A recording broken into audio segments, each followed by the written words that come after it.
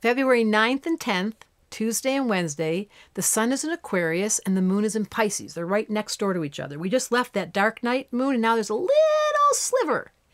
And this is a really unusual combination because next to the moon right now is Neptune. The moon and Neptune are holding hands. If someone were born with this, they would have the gift of talking to the other side. I know it's so strange. I only got introduced to this in the last year with one of my clients taught me about mediumship. And there really are people with a combination like this Aquarius woo woo, the deviants, and Pisces woo woo, the higher levels where they're like in, I don't know where they live. They go between the worlds. And there is such a thing as spirits. I mean, I now am a firm believer. And there is such a thing as your dead relatives watching you. Shh, I always wonder, like, do they like stop looking at certain points.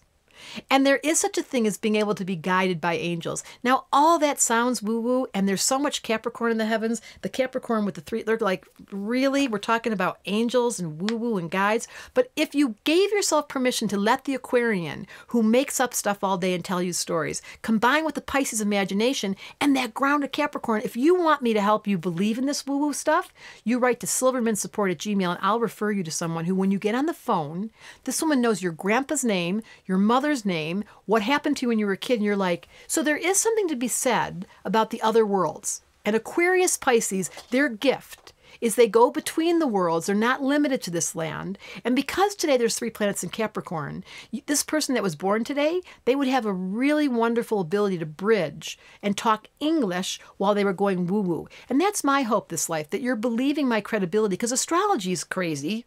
Aquarians are crazy. This whole month's about crazy. But yet there is some credibility to it when it can back actually apply to your ability to get along with yourself or your partner or your kids. Why not try it? So here we are, these two years, Saturn's in Sagittarius. It's right now having a great relationship with um, Aquarius. Did you notice that? That was strange scratching your nose in the middle of the video. But oh, because I wanted to remind myself. That was what I was doing. I meant to go like this, but I went like this. That's very Aquarius. um, Pisces, they're so strange. There's a radio show on Wednesdays on Empower Radio, and that's where I get to give you really a whole hour of information for free, and you can call in and get some in sessions by yourself. Oh boy, this is a little radio day today, this little session today, Pisces is giving me a little space cadet, blah, blah, blah, blah. See, that's what it's like to have moon in Pisces. You can't believe if you have moon in Pisces, just forget about sun in Aquarius. If your moon is in that otherworldly sign of Pisces where it's woo and magic, I promise you this whole video made a lot of sense to you.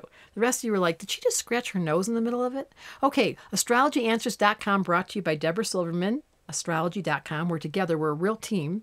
And I'm here to tell you there is such a thing as going between the worlds. There's a radio show. It's okay to be quirky and unusual because the more you're yourself, the quicker we get to go home.